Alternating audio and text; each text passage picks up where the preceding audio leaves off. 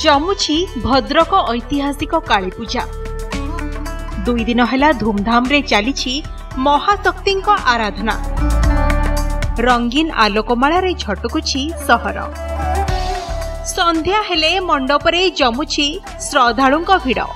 ମାଙ୍କୁ ଦର୍ଶନ କରି ଆଶିଷ ଭିକ୍ଷା କରୁଛନ୍ତି ଶ୍ରଦ୍ଧାଳୁ ଚଳିତ ବର୍ଷ ନଅଟି ମଣ୍ଡପରେ ପୂଜା ପାଉଛନ୍ତି ମା କାଳୀ ଭଦ୍ରକ କାଳୀପୂଜାର ଏକ ସ୍ୱତନ୍ତ୍ର ବୈଶିଷ୍ଟ୍ୟ ଥିବାରୁ ରାଜ୍ୟ ବାହାରୁ ମଧ୍ୟ ଲୋକେ ଆସି ପୂଜା ଓ ମେଳାର ମଜା ଲୁଟୁଛନ୍ତି। ସୁରକ୍ଷା ପାଇଁ ପୋଲିସ ପକ୍ଷରୁ ବ୍ୟାପକ ବ୍ୟବସ୍ଥା କରାଯାଇଛି। ମାଆକୁ ଦର୍ଶନ କରିବା ପାଇଁ ଆଜି ବହୁ ହଜାର ହଜାର ଦର୍ଶକ ଦର୍ଶନ କରି ସେମାନଙ୍କର ଆଶୀର୍ବାଦ ଭିକ୍ଷା କରୁଛନ୍ତି ଏବଂ ଆଶୀର୍ବାଦ ନେଇକି ସେମାନେ ଏଠୁ ଯାଉଛନ୍ତି। ବିଶେଷ କରିକି ଆଜି ଯେଉଁ ଦ୍ୱିତୀୟ ଦିନର ଏ ସମାଗମ ଆମେ ଦେଖୁଛୁ ଏହା ଏକ ଗୌରବର ବିଷୟ ଏବଂ ଖୁସିର ବିଷୟ। ଆଉ ବହୁତ ଖୁସି ଲାଗୁଛି ଦୁଇ ବର୍ଷ କରୋନା ହେଇଥିଲା। ଗତ ବର୍ଷ ସେଇ କରୋନା ପାଇଁ କମ୍ ଲୋକ ଥିଲେ। ଏ ବର୍ଷ ବହୁତ ସମାଗମ ହେଇଛି ଦ୍ୱିତୀୟ ଦିନରେ ଏତେ ପ୍ରକାର ଲୋକ ବୋଲି ଆମର ଧାରଣା ନଥିଲା। ଆଉ ବହୁତ ଖୁସି ଲାଗୁଛି ଏଥର ଯେଉଁ ଆମର ଆଠ ନଅଟି ମେଢ଼ ହେଇଛି ତା ସହିତ ଅ, ଆମର ଅପେରା ପାର୍ଟି ଚାରିଟା ପଡ଼ିଛି ଦୋଳିର ମଧ୍ୟ ଯାକଯାକ ବିଭିନ୍ନ ପ୍ରକାର ଦୋଳି ମଧ୍ୟ ପଡ଼ିଛି ଏଠି।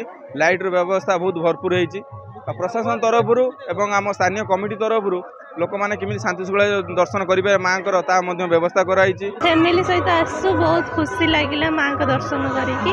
ଫ୍ୟାମିଲି ସହିତ ବହୁତ ମଜାମସ୍ତି ବି ହେଉଛି ଦୋଳି ଏକା ବି ପଡ଼ିଛି। ମହାଶକ୍ତିଙ୍କ ଆଗମନକୁ ନେଇ ଛଟକୁଛି ସିଲଭର ସିଟି କଟକ।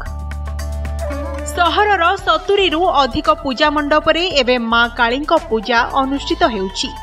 ତେବେ ବାଖରାବାଦ ପୂଜା ମଣ୍ଡପରେ ବିଭିନ୍ନ ରୂପରେ ପୂଜା ପାଉଛନ୍ତି ଛିନ୍ନମସ୍ତା କାଳୀ। ଏଠାକାର କାଳୀ ପୂଜାର ରହିଛି ସ୍ୱତନ୍ତ୍ର ଆକର୍ଷଣ। କଟକ ବାହାର ଜିଲ୍ଲାରୁ ଏଠାକୁ ମାଙ୍କ ପୂଜାର୍ଚ୍ଚନା ପାଇଁ ବହୁ ଭକ୍ତ ଆସିଥାନ୍ତି। ଏଥିପାଇଁ ପୂଜା କମିଟି ଓ ପ୍ରଶାସନ ପକ୍ଷରୁ ସମସ୍ତ ବ୍ୟବସ୍ଥା କରାଯାଇଛି। ମାଆଙ୍କୁ ଦେଖିବା ପାଇଁ କଟକ କ'ଣ ସାରା ଓଡ଼ିଶାବାସୀ ମଧ୍ୟ ଏଠାକୁ ଆସନ୍ତି। ଏଇ ଗତକାଲି ମଧ୍ୟ କିଛି ପୁରୀ ମାନେ ଭକ୍ତ ଆସିଥିଲେ ଏଠାରେ ମାଆଙ୍କ ଦର୍ଶନ କଲେ। ସେ କ- ମାଆଙ୍କଠୁ କ'ଣ ଫଳ ପ୍ରାପ୍ତି କରୁଛନ୍ତି ସେ ନିଜେ ଜାଣି। ନହେଲେ ଏଠି ସେ ଭିଡ଼ ରୁହନ୍ତାନି ଏଠି ହଜାର ହଜାର ଶ୍ରଦ୍ଧାଳୁଙ୍କ ଭକ୍ତ ଭିଡ଼ ସବୁବେଳେ ରହିଯାଉଛି। ବହୁତ ଜାଗାରେ କାଳୀ ପୂଜା ଅନୁଯାୟୀ ଲୋକ ରୁହନ୍ତି ଆମର ଏଠି ପାଖାପାଖି ଚାରିଶହରୁ ପାଞ୍ଚଶହ ଆଭେଲେବୁଲ ଲୋକ ରୁହନ୍ତି ଏଠି। ପୂଜା ଦେଖନ୍ତି ବହୁତ ଲୋକ ମାନସିକ କରିଥାନ୍ତି ଯାହାର ମାନେ ରାହୁ ଦଶା ଚାଲିଥାଏ। ଆଉ ଆମର ଯାହାର ପିଲାପିଲି ନଥାଏ ବହୁତ ଲୋକ ଆସି ମାନସିକ କରନ୍ତି।